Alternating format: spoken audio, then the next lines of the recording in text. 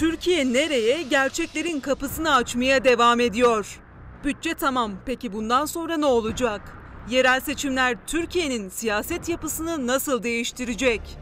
Suriye'deki yeni tablo Türkiye'yi ve seçimleri nasıl etkileyecek? Fatih Ertürk soruyor. Başbakan eski yardımcısı CHP Konya Milletvekili Abdülatif Şener, İyi Parti İstanbul Milletvekili Genel Başkan Yardımcısı Ümit Özdağ ve hukukçu Ömer Lütfü Avşar yanıtlıyor. Türkiye nereye? Cumartesi günü saat 21'de. Sakın kaçırmayın.